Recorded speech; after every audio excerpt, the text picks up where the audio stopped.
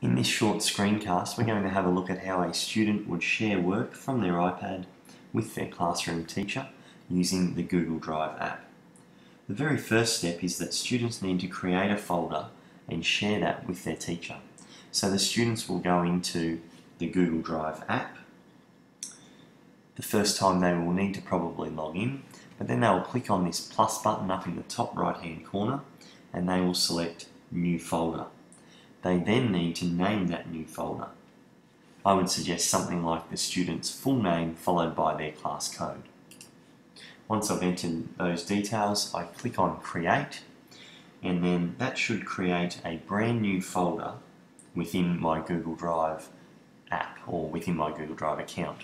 The students then need to share that folder, so clicking on the little arrow in the top right and then on the plus button the students will share that with their teacher by putting in the teacher's email address. Once the student has put in their teacher's email, they'll click on the Add button and over on the right hand side you can see that the student is the owner of that account, that file, uh, and there it is shared with my teacher. Now pretty soon the teacher's going to get about 25 emails and there's the first one and you'll get an email from each one of your students. So now as a teacher, we need to go and create a class folder. And that class folder will basically be a collection of all the students' work. So, teacher needs to go into the Google Drive app. So here I am as the teacher, and when I click on Shared with Me, I'll see all of my students' work shared with my Google Drive account. I need to now create some sort of folder to keep that work organised. Clicking on the plus button in the top right hand side, I'm going to create a new folder and obviously this would best be used as my 7 PE class code or something like that. So there's my PDHPE class code and I'm going to click create. Just to show you where that went, when I click on my drive, I can see there that I now have a folder. There's nothing in that folder. I need to go back to shared with me and I need to put each of my student folders into my class.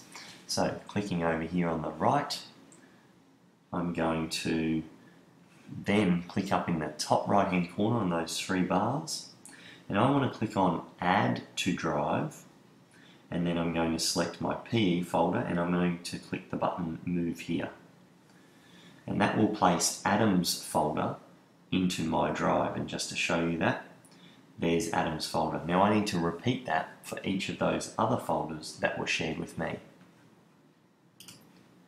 Now you can of course move those folders using your iPad, but I'd suggest coming into your um, Google Mail, your Lismore Mail, click on this button up here at the top which says Drive, and that takes you to a web-based version of the same thing as what we're looking at. There's my 7PE folder with Adam's work in it. If I go to the Shared With Me button, if I select all of my students' work, okay, all of these various folders that have been shared, and if I click on the little Organize button, I'm going to put that into 7PDHP and in one fell swoop I can put all of those folders into my 7PE folder. So that's a much quicker way to do it. So now of course we're ready to start collecting student work. So let's have a look at how a student would share work with you into those folders. Let's go to, for example, Notability. Notability is an app that we use a fair bit. Uh, and here a student is working on their school prayer. Uh, they've highlighted, they've made some notes, they've added a picture, they've done what they need to do, and now they want to share that with you. So they'll click on the Action button and they'll select Google Drive and they may need to change their folder just to make sure that they've got the right subject. In this particular instance, I'm going to share this with my PE teacher. So if you want to share the folder, change the folder, you would just click that and select. I'm just going to click the Send to Google Drive button.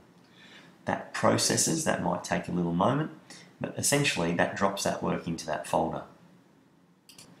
So obviously as a teacher I can view that work on my iPad, or probably easier, I can come into my Google Drive online and I can have a look at Bill because he just sent me that school prayer there it is there, and I can see Bill's work quite easily.